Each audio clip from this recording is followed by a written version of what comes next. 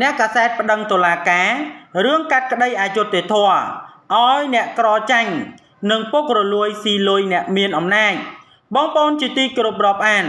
ពាក់ព័ន្ធជាមួយនឹងអ្នកកាសែតមួយរូបសម្ដែងនៅការមិនពេញចិត្តយ៉ាងខ្លាំង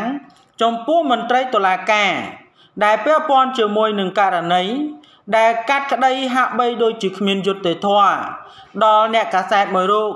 ដល់ថ្នាក់ដែលគាត់សម្ដែងនៅការមិនពេញចិត្តយ៉ាងខ្លាំង ពាក់ព័ន្ធជាមួយនឹងការកាត់ក្តីបែបនេះនឹងធ្វើឲ្យប៉ះពាល់យ៉ាងខ្លាំងដល់វិស័យយុត្តិធម៌យ៉ាងណាក៏ដោយនេះគ្រាន់តែជាការចោទប្រកាន់មួយអន្លើរបស់អ្នកចាងវាងសារព័ត៌មានមួយរូបដែលបានលើកឡើងយ៉ាងដូចនេះថា ចាងវាងសារព័ត៌មានម្នាក់បានដាក់ពាក្យប្តឹងទៅកាន់មន្ត្រីក្រសួងយុតិធធដោយប្តឹងចៅក្រមចំនួន2រូបនិងព្រះរាជអាជ្ញារងចំនួន2រូបដោយគាត់នឹងអះអាងថា បានកាត់ក្តីយ៉ាងអយុត្តិធម៌សម្រាប់រូបគាត់និងប្រជាពលរដ្ឋមួយចំនួនទៀតរឿងដីធ្លី ជាមួយនឹងមន្ត្រីយោធាផ្កាយ2ដែលស្ថិតនៅស្រុកអន្លង់វែងនៃខេត្តឧត្តរមានជ័យបើយោងទៅតាមពាក្យបណ្ដឹងរបស់លោកប៉ែននួនចាងវាងសារព័ត៌មាន នៅក្នុងស្រុកម្នាក់ដែលបណ្ដាញសារព័ត៌មានទទួលបាន នៅក្នុងថ្ងៃនេះគឺបានបញ្ជាក់ថា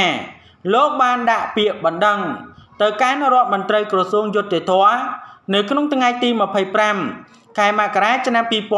2022ដោយចោទប្រកាន់អតីតចៅក្រមសាលាដំបងខេត្តឧត្តរមានជ័យលោកសឹមវិចិត្រចៅក្រមសាលាដំបងរាជធានីភ្នំពេញ លោកអួងវុធាអតីតព្រះរាជអាជ្ញារងអមសាលាដំបងខេត្តឧត្តរមានជ័យលោកកុងរតនា និងព្រះរាជអាជ្ញា រងសាលាដំបងនៃរាជធានីភ្នំពេញ លោកអ៊ុំសុភ័ក្រកាត់ក្តីអយុត្តិធម៌នៅក្នុងរឿងដីធ្លី នៅក្នុងពាក្យបណ្ដឹងរបស់ខ្លួនលោកប៉ែននួន លោកបានជម្រាបទៅកាន់រដ្ឋមន្ត្រីក្រសួងយុត្តិធម៌ថាលោកត្រូវបានមន្ត្រីតុលាការខាងលើ កាត់ក្តីកំបាំងមុខយ៉ាងអយុត្តិធម៌កាលពីថ្ងៃទី6ខែមករាឆ្នាំ2022 តាមពាក្យបណ្ដឹងរបស់ឈ្មោះអុកគឹមលី ជាយោធាពាក់ផ្កាយ2ដោយបានប្តឹងលោករឿងផ្សាយព័ត៌មានពាក់ព័ន្ធជាមួយនឹងដីធ្លី លោកប៉ែននួន លោកអះអាងផងដែរថា លោកក៏ជាជនរងគ្រោះម្នាក់នៅក្នុងចំណោមប្រជាពលរដ្ឋ4គ្រួសារផ្សេងទៀតដែលត្រូវបានមន្ត្រីយោធាផ្កាយ2រូបនេះរំលោភយកដីធ្លី ហើយប្តឹងលោកទៅកាន់តុលាការថែមទៀត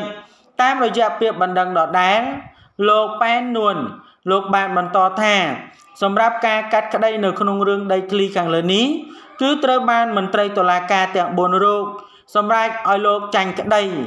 និងបង្គាប់ឲ្យលោកសងជំងឺចិត្តខ្ទង់លៀនដៀលជូនភៀកគីលោកផ្កាយ2រហូតដល់លោកបានបន្តប្តឹងមកកាន់ឧទ្ធរនិង ចុងក្រោយប្តឹងទៅកាន់រដ្ឋមន្ត្រីលោកការិតដើម្បីជួយរកយុត្តិធម៌ដោយចំណុចព័ត៌មាននេះមានប៉ុណ្ណឹងដើម្បីទទួលបាននូវព័ត៌មានថ្មីៗបន្ថែមទៀតសូមមេត្តាជួយ Subscribe និង Like